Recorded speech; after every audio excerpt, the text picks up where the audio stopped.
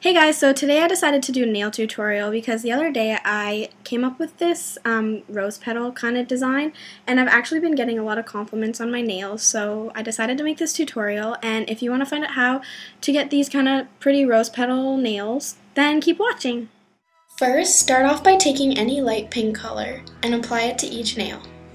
I'm using this pretty pale pink color from the Sephora by OPI collection. Next, take any dark or hot pink color and make 2 to 3 polka dots on each nail.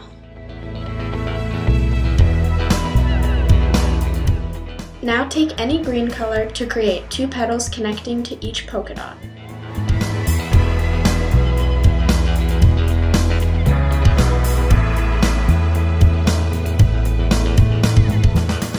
Next I'm taking this yellow color and sweeping it over the green petals to add a bit of contrast.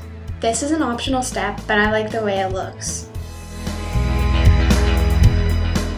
Now take the same light pink color you used for the base of your nails and lightly dab it onto each polka dot. This adds a bit more contrast and makes the flower look really pretty.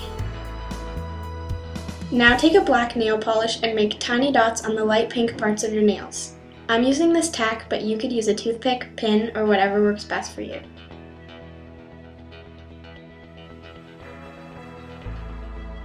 Finish off by applying a top coat to give your nails a nice glossy look.